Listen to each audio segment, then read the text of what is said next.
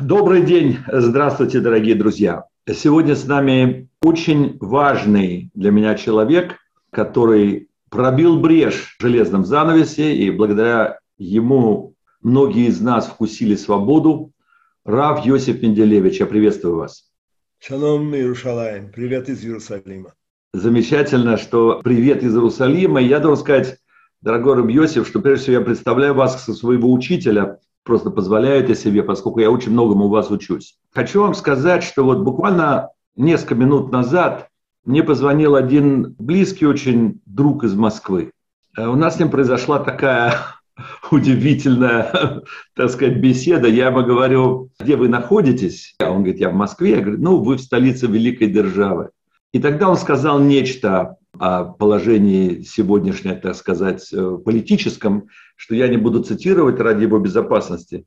А я ему сказал, все, что вы хотели сказать, я это вложил в слова «Вы в столице великой державы». В этой великой державе вас, возможно, прослушают. На что он пошутил. Я сказал, те, которые прослушивают, согласны с тем, что я сказал. Да.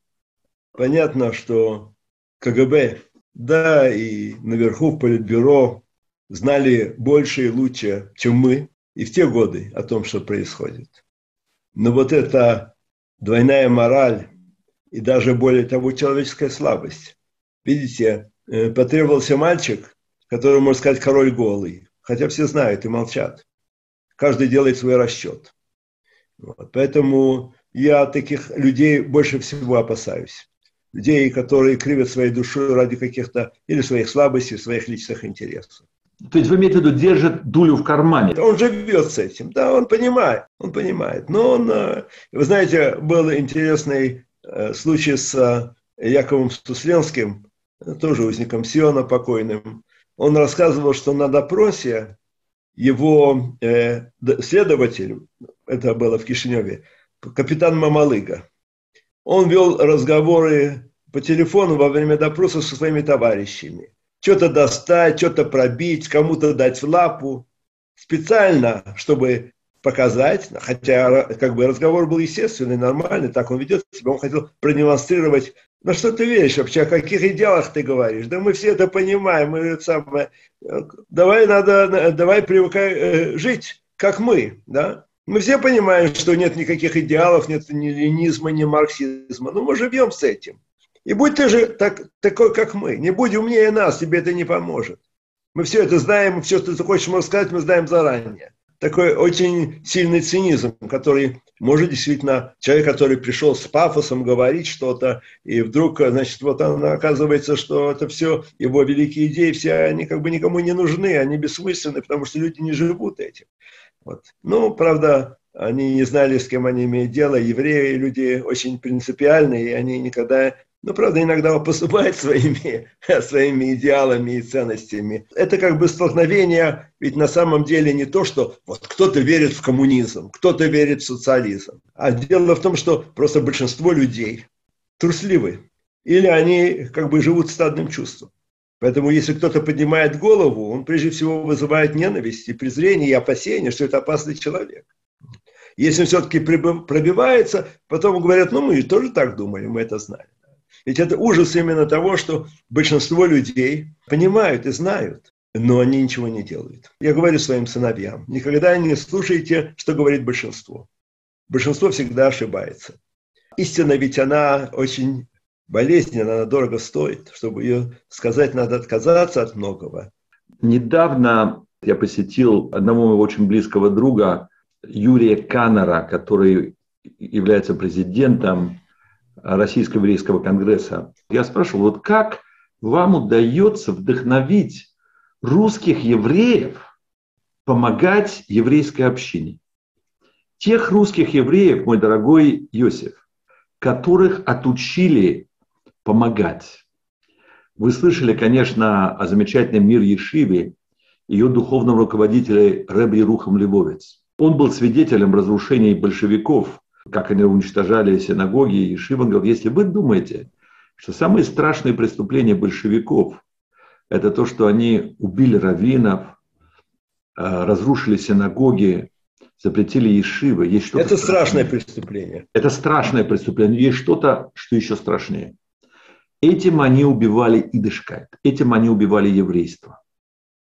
Но они криминализовали, то есть они запретили, по сути, заповедь сдаки, заповедь милосердия.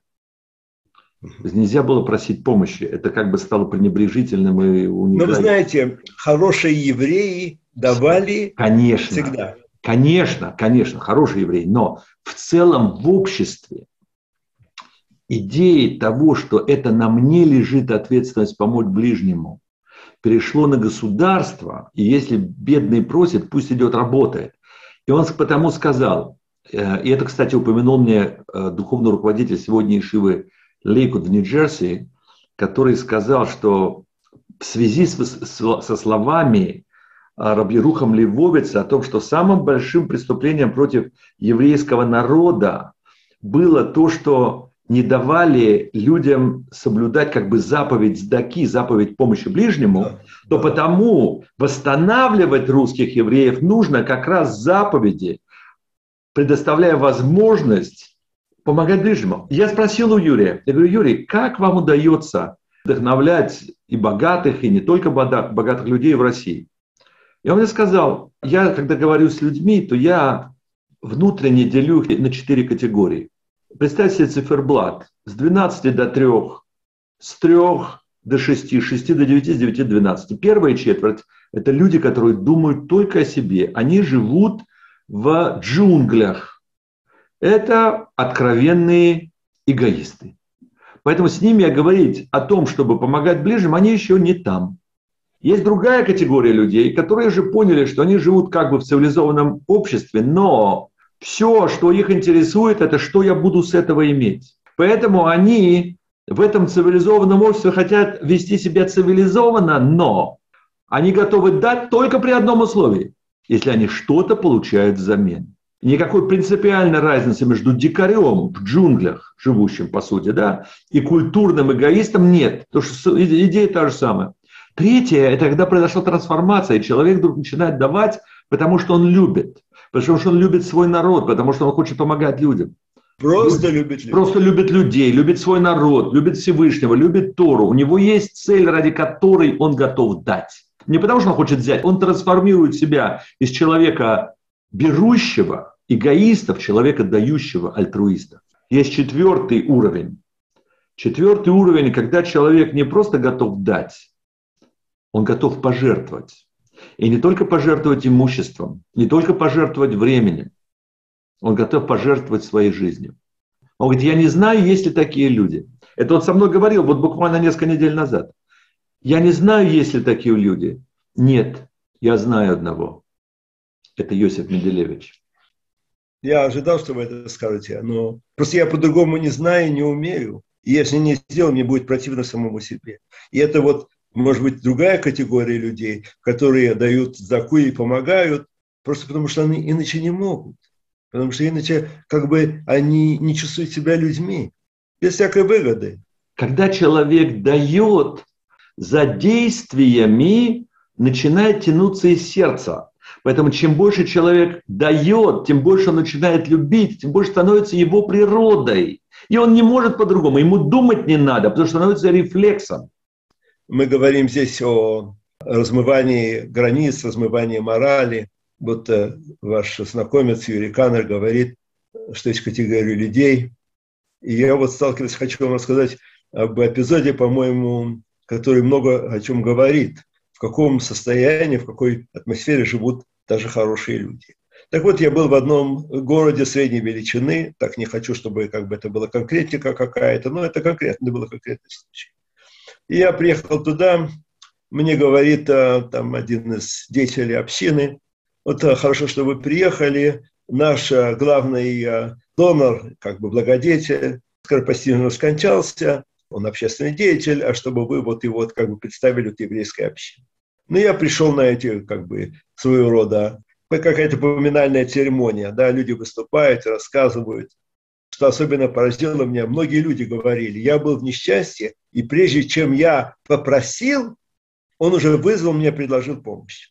И выступил его брат его жены. Он говорит, я хочу рассказать такую историю.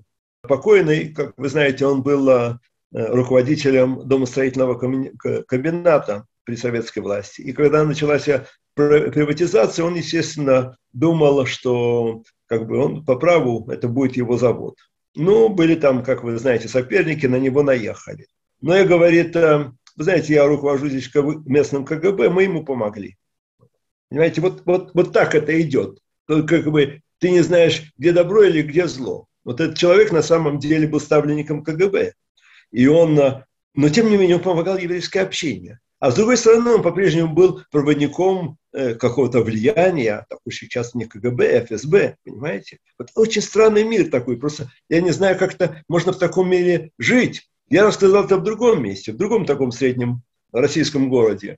И мне говорит руководитель общины. Ну и что говорит? Я по, всему, по, по любому поводу консультируюсь с ФСБ. Представьте себе. Ну, где грань проходит?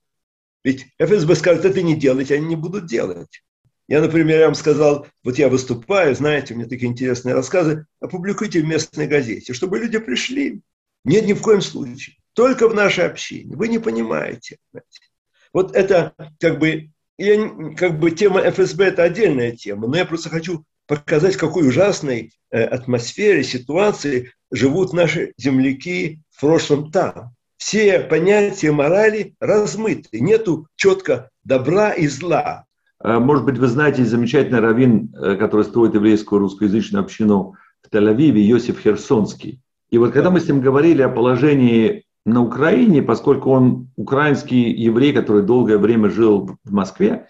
Сейчас у него были какие-то неприятности, в результате которых он должен был покинуть Москву. Совершенно верно. Совершенно верно. Я даже, честно говоря, хотел пошутить в тот момент и сказать, что ведь он представлял опасность для Российской Федерации, и потому его оттуда попросили. И как мы видим сейчас, что Российская Федерация сама решает, кто представляет для нее опасность, что напомнило мне анекдот советских времен. Спрашивают у армянского радио, с кем граничит Советский Союз? Советский Союз – страна свободная, с кем хочет, с тем и граничит. Вот, так вот, Иосиф Херсонский сказал такую интересную вещь. Он сказал, что когда мы думаем о помощи украинским евреям, ну, им нужно помочь едой, возможно, там нужно помочь средствами для того, чтобы спасать беженцев. Но не в меньшей степени нужно думать о помощи евреям, которые живут в диктаторских режимах, которые болванены. Ведь мы жили все когда-то в Советском Союзе, мы видели многих хороших, в принципе, людей, которые плакали, когда умер Сталин. Правда? Миллионы плакали, когда умер Сталин. Поэтому мы не осуждаем сейчас никого, но мы Нет, просто... Не осуждаем, просто рисуем эту ситуацию страшную. Но, но, но у нас, у этой ситуации есть удивительное положительное направление. Во тьме хорошо виден свет. Тьмы как таковой нет. А все размыто. Понимаете, хорошо, когда есть тьма и есть какой-то э, лучок света. Да, Тогда да. этот лучок света нет. А лучок, лучика света нет, как правило. Конечно. Потому что раввины на местах вот такой ситуации, когда а, дарители связаны с ФСБ, они по-прежнему живут в а, ситуации практически э, диктаторского режима. Йосиф, поэтому у нас с вами за пасхальным столом, у нас уже Пасха не, не, не за горами, Пейсах не за горами. Пейсах. Там у нас есть два вида марора. Один марор горький, горькая трава, да. И у нас есть хороса, сладенькая такая, сладенькое месиво, там орехи, яблочки. Да. И мудрецы нам говорят, что э, если первое, это помогает нам побыстрее, побыстрее исходить из горького рабства. И если есть что-то хорошее, это что, то, что горечь очевидна. А вот сладкие лепешки фараона, вот оттуда уйти. Вот как оттуда уйти? Есть все так сказать, цвета радуги. Да, и, даже плохо очень, но привыкли, знаете, как говорят, а, самые эти пастрома, они уже хотя и труд, но раны как бы привыкли к этому трению, и можно продолжать дальше. И вы знаете, я хочу сказать, что сговорил с одним э, другом, кстати, Юрий Каннер, упоминаю, прямо в этой же беседе, и говорю ему, вот мы думали о том, как помогать евреям Украины, и подумали, что вот вашим, пойти вашему предложением помогать гуманитарно. Естественно, то есть гуманитарную помощь оказать. Он говорит, может быть, окажите гуманитарную помощь Сахнуту для их перемещения в Израиль? Ну, это еще одна тема. Я сейчас э, окончил э, новую книгу по заказу председателя Сахнута, как бы Герцога, который стал сейчас президентом. Он мне сказал, слушай, напиши какую-то книгу, которая подытаживает твой опыт. Мой, мой вывод, один из выводов, это то, что выезд сделали простые люди. Знаете, э, как известно в Америке, это были простые люди. А был истеблишмент, они принимали какие-то важные э, решения, но они были увязаны, знаете, кто такой истеблишмент? Это богатые влиятельные люди, и они всегда делают э, какие-то решения с оглядкой на, на власть. Тоже есть не какая-то свобода. А кто делал? Студенты, студенческая организация. Вот такая простая женщина, как Памела Коэн. И когда Памела Коэн решила издать мою книгу на английском языке, вот есть такая книга Unbroken Spirit, она говорит, ты знаешь, почему я решила издать твою книгу? Ну, надо было собрать деньги, это огромные деньги. Она говорит, а потому что ты человек, который не только когда-то что-то сделал, а продолжаешь эм, свою линию в жизни до сегодняшнего дня. Поэтому о тебе можно писать, и у тебя можно учиться. Ты хотел учить Тару, ты подпольно учил Тару, ты хотел преподавать, и ты продолжаешь это делать сегодня. Простые люди делают революцию. Я вам расскажу один эпизод, э, который я пишу в этой своей новой книге. Э, а Виталь Щаранская еще боролся за своего мужа. И, значит, она сказала, Иосиф, надо поехать в Европу, сейчас с министром иностранных дел, потому что будет конференция министров иностранных дел в Европе. Очень важно, чтобы они подняли там вопрос о заключенных Асерет и о моем муже, и все. Ну, надо как бы устроить такую встречу. Пошли к Ицхаку Шамиру. Тогда был министром иностранных дел.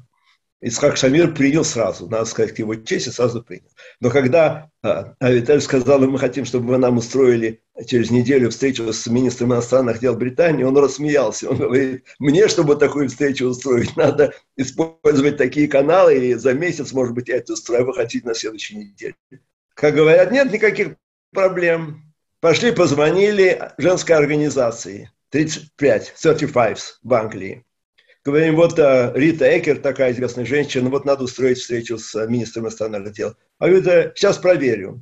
Через минут 15 нас будет хорошо устроили встречу. Один, они высчитали, что один из членов а, их организации работает в Foreign Office, в английском министерстве иностранных дел. Она прошла через коридор своей подружке, секретарше министра иностранных дел, и сказала, слушай, там найди какие-то полчаса, надо устроить встречу. Вот, никаких проблем. Отсюда мы понимаем важность того, что все евреи вместе строили храм в пустыне, мешкан. Потому что да. когда мы вместе, один помогает другому, то тогда это огромная мы сила. Э, превращаемся в одно единое целое. Не то, что один помогает другому, мы – это и есть одно единое целое. Понимаете? Это, вот в этом великая сила. Я э, как раз сегодня в Махон Мире дал урок на эту тему. Сказали люди, которые были назначены по сбору пожертвований для построения переносного храма, сказали Мушарабейну, происходит что-то странное. Где так несут свои пожертвования, что они просто уже невозможно больше, надо их остановить. И Моше дал приказ все, больше не надо, больше не несите. Вы согласитесь, безусловно, что это самое потрясающее место в этом разделе. То есть это говорит о том, что был такой энтузиазм, такой восторг. Раши говорит, что э, указание о э, даровании Тары было дано э, после, то, что мы говорим, греха золотого льтеца, как какое-то компенсирующее решение. Шира Ширим говорит, что вот э, дарование Тары, это характеризуется хатуна Бейна Кадош Буруху Ам Исраиль. Да, есть это известное э, исполнение баллады, которую выполняет Равшлому Каральбах о Ктубе, в которой была записана. Вторая – это Ктуба. Да, это соглашение брачное между Кадош Буруху и народом Израиля. Теперь еще один очень важный момент для того, чтобы дополнить полностью эту мозаику. Вот все утвари храма, мешкан передвижного – она составляла по подсчетам порядка трех тысяч килограмм. И надо было нести практически, там было несколько повозок, но практически все это было, надо было нести на руках. Вот представьте себе Арон Кодыш, ну, при всем при том, что он небольшой, но там очень много веса, много золота. И вот это же не то, что идешь по асфальтовой дороге, идешь по песку. И надо еще нести на себе. Это э, э, просто невозможно. Непонятно, как люди это могут э, делать. Так а, ответ очень простой. Я говорю, мы знаем, что когда в, в случаях, когда нет Ирува, то в субботу нельзя взять с собой маленьких детей, потому что даже если они некоторое время идут, потом он, они будут проситься на ручки. А мы знаем, что нельзя ничего брать в руки. Поэтому, если он сам может идти, хайну сейт отсмо, тогда его можно брать. Так вот, Арон Конеш, он был хайнус, это единственное объяснение, как в таких условиях 38 лет могли на себе, нести на себе этот эм, э, ковчег завета, это Арон Конеш. Потому что это он нес сам себя. Какая энергия его несла на себе? Любовь народа Израиля. Любовь народа Израиля – это та энергия, которая несла там внутри этого э, алтаря, говорят, Арон Колыш, была заключена огромная сила, огромная энергия любви. Как мы знаем, нет ничего сильнее, чем любовь. Но обычно говорят, любовь прямо к девушке, это тоже на самом деле делает большие чудеса. Любовь человека к родине – это вообще самопожертвование. А представьте себе, это второй, а третий уровень. Любовь человека, народа Израиля к Ашему за все, что он сделал. Это огромная сила. Арон Кодыш, он был выслан любовью. И где мы видим, говорит Раши, выражение этой любви, вот это принесение, это восторг, да, как бы вот реальное воплощение тому несли без конца, когда можно снимать с себя серьги, снимать с себя обручение, нести. Сейчас у нас пишут, если кто-то пожертвовал синагогу, пишут на стене, есть это самая плей какая-то, плошка там или еще что-то. Никто же это не знал, ничего не миновало. Люди при, были преисполнены такой любовью, что все, что они принесли, все эти предметы утвари храма, они были охвачены, они были напоены любовью народа Израиля к Ашему. И поэтому, когда эти все металлы и все драгоценности стали частью мешкана, это было действительно энергетический какой-то э, как бы центр. Там была огромная энергия, которая была вложена в это дело. Раши говорит, но «Ну, представьте себе, когда человек сделал что-то плохое, и он понимает, что все пропало. И вдруг ему говорят, ты можешь исправить. Представьте себе, какой восторг его охватывает. Гораздо больше даже, чем сам факт того, что ты вышел из Египта. Но вот сейчас у тебя есть возможность исправить по-настоящему. Вот откуда берется вся эта великая энергия. Вот как бы то, что они несли, несли, несли, наверное, все отдали. Да? Ничего у них не осталось. Все несли. Машин Рабейн сказал, хватит, не надо, слишком много. Говорит Раши, это таки, такой восторг может быть только у Балчува, который э, понимают, что сейчас его прощение принято, да, и, и, и это великая радость, когда мы понимаем, вообще мы все понимаем, да, что мы можем измениться, что мы можем стать лучше, что мы можем стать хорошими евреями. Это такой восторг, ради этого ничего не жалко. И это удивительным образом ведь иллюстрирует ту мысль, с которой мы начали с вами разговор. Мы говорили, что есть люди, которые хотят брать. И говорили о том, что а есть люди, которые хотят дать. И вот... Ну вот если даже те люди, которые хотят брать, окажутся в ситуации, когда вроде бы все беспросветно, ничего нельзя исправить, и вдруг говорят, можно исправить. Ой, какое счастье, какая радость, я могу исправить что-то, что для этого нужно. Давай, давай, давай, еврейскому народу. Но удивительная, мне кажется, мысль здесь заключается в том, что чем больше человек дает, тем больше он любит, тем больше у него сил, и тем больше он не только отдает, но и получает. Понятно, потому что когда он отдает божественную энергию, он, соответственно, получает божественную энергию. Это же как бы, как мы знаем, мы все учили физику, это же не one way, да, это создается какое-то огромное сильное поле, даже не магнитное, не электро, какое-то поле божественной любви, когда мы все купаемся в этой любви. Это так здорово, мы просто наслаждаемся. Вот как бы вот, вот дожить бы до этого момента, когда мы все будем испытывать и жить в удовольствии вот этой любви. Говорят, написано в Таре, Моше Рабейну спустился третий раз с горы Синайской, лицо его светилось.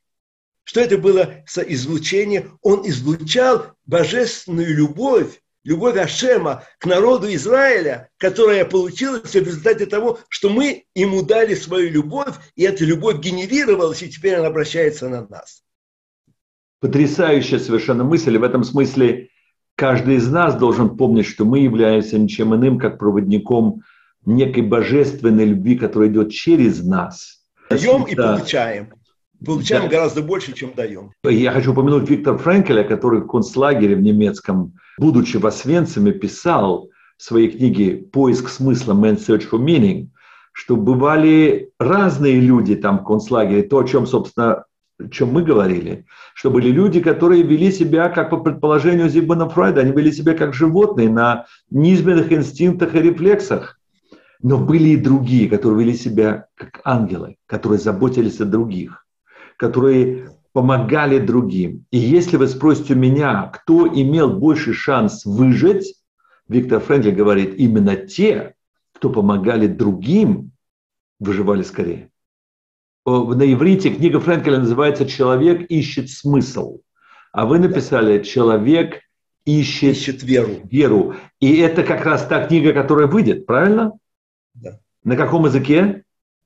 На иврите. Я хочу пожелать вам, э, чтобы э, Всевышний послал нам благословение, и у вас была возможность э, издать эту книгу также на русском языке, и чтобы вы могли делиться это, той это, силой это и той верой, которую вы обрели в тех боях, и помогать каждому из нас на своем месте, потому что каждый на своем месте, каждый должен, так сказать, и каждый должен держаться там.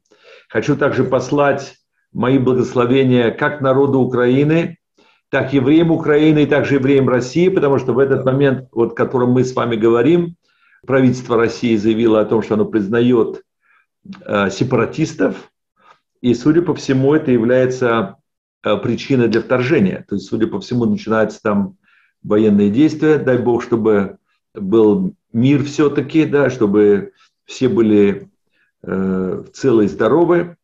Хочу выразить вам огромную-огромную благодарность. Взаимно. Спасибо. Вам хорошей поездки в Америку, чтобы вы вдохновили наших американских евреев, чтобы, во-первых, они любили и помогали друг другу, еврейскому народу, Израилю, и, конечно, чтобы все-таки, следуя за вами и вашей борьбой, больше их приселялось сюда, в Иерусалим. Амен, Кен Рацион. Всего самого хорошего вам. До свидания.